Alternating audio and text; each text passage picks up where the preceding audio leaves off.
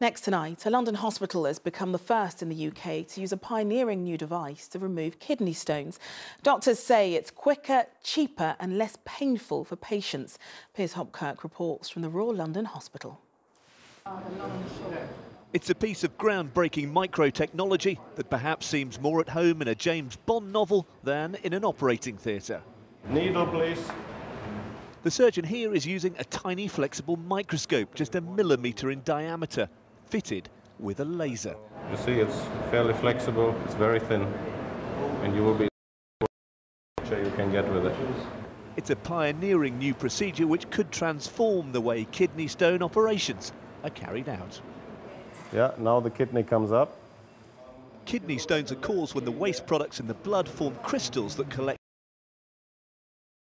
can into stones. Okay. In the kidney now.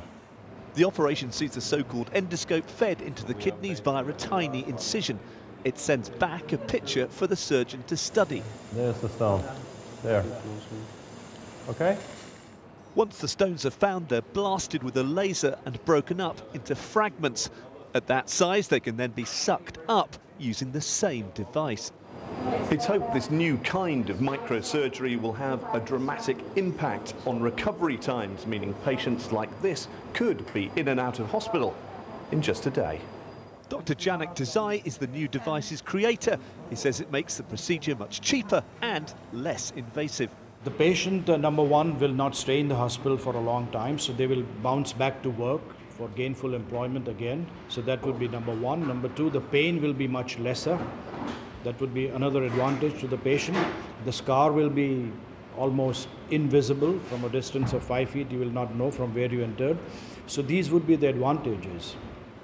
Kidney stones affect around two in a thousand people each year. For the NHS, this procedure potentially means major savings. The disposable instruments used are much cheaper and patients are less likely to take up a hospital bed to recover. It looked a, bit, a little bit like a video game at times. how, how successful was it? And this one was very successful.